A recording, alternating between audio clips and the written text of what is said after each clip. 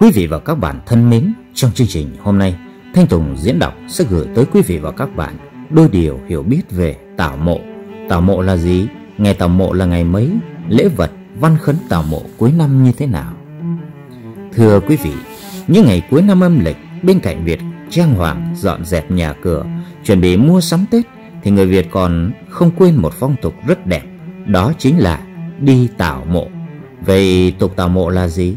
Ngày tảo mộ là ngày mấy và lễ vật văn khấn tảo mộ cuối năm cần chuẩn bị như thế nào?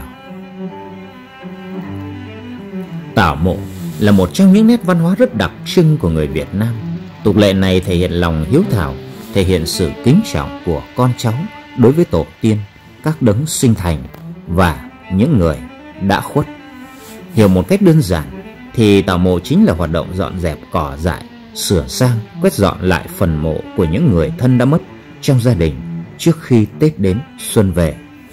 Tục tảo mộ không chỉ thể hiện lòng thành kính đối với các bậc bề trên mà đây còn là dịp để gia đình quây quần ôn lại kỷ niệm, đồng thời nhắc nhở nhau phải ghi nhớ công ơn của tổ tiên, ông bà, từ đó phấn đấu trong học hành, công việc để mang đến những điều tốt đẹp nhất cho bản thân cũng như gia đình.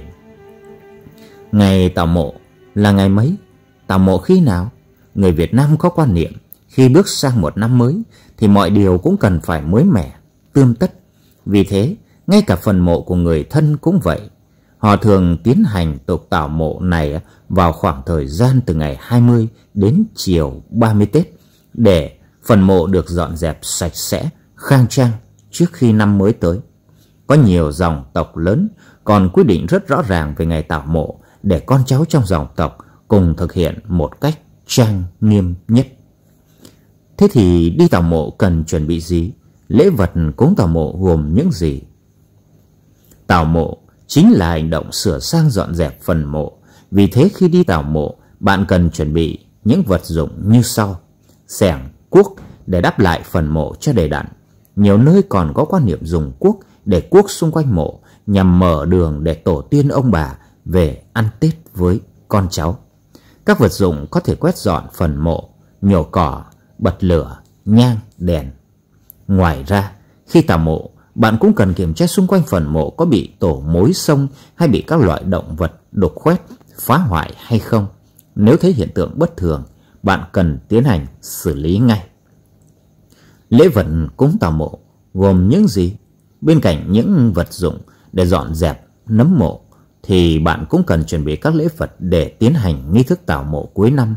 Một mâm lễ chay hoặc mặn, một bộ tam sinh gồm một miếng thịt lợn, ba hoặc năm con cua có thể thay bằng tôm, một hoặc ba quả trứng vịt, nhang, đèn, giấy ngũ sắc, vàng mã, hoa quả tươi, trầu cau, rượu, chè, nước, vân vân. Nhưng lưu ý khi đi tảo mộ cuối năm cụ thể thế nào? Khi tiến hành cúng tảo mộ cuối năm, bạn cần lưu ý một số điều sau đây. Nên tiến hành tảo mộ cuối năm vào buổi sáng, hạn chế tảo mộ vào những ngày trời u ám để tránh nhiễm khí lạnh làm ảnh hưởng tới sức khỏe. Tuyệt đối không nên đùa giỡn, cười nói quá to khi đi tảo mộ. Nên ăn mặc lịch sự, trang trọng để thể hiện sự tôn nghiêm, thành kính với những người đã khuất. Sau khi đi tảo mộ về, bạn cần tắm giặt sạch sẽ để loại bỏ hàn khí, bụi bẩn Trước khi tiến hành dọn dẹp phần mộ, người chủ gia đình hoặc người lớn tuổi cần thực hiện thắp nhang, đèn, xin phép và đọc văn khấn tảo mộ cuối năm. Trong khi đợi hương tàn, con cháu có thể tiến hành dọn dẹp phần mộ và khi nhang cháy được 2 phần 3 thì gia chủ có thể tiến hành hóa vàng và xin thụ lộc. Bài cúng tảo mộ cuối năm cụ thể như thế này. Nam Mô A Di Đà Phật ba lần.